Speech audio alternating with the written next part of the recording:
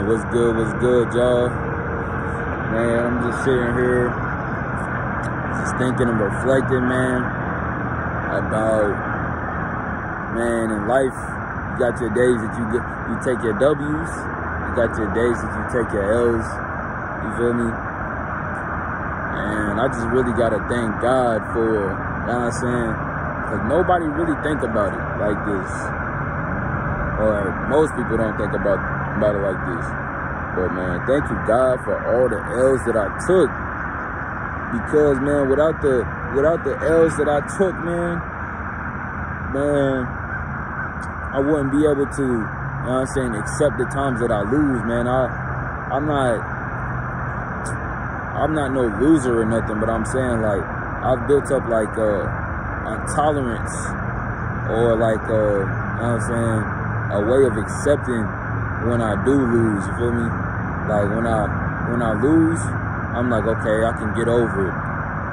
Rather than me, what I say? I remember when I used to lose in simple stuff and like in basketball, I used to be sad the whole day. You know what I'm saying? Now I'm taking bigger losses in in life with things that I would consider, you know what I'm saying, a loss or whatever, like uh considered like taking an L.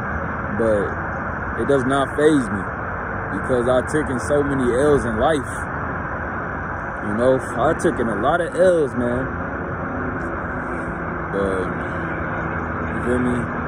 You can either use those L's as, you know I'm saying, a learning lesson, or you can let it defeat you forever, man. But nah, man, thank you God for all the L's that I ever took. Cause man, I, I needed those, man. Without them, I wouldn't I wouldn't be the person that I am. And uh,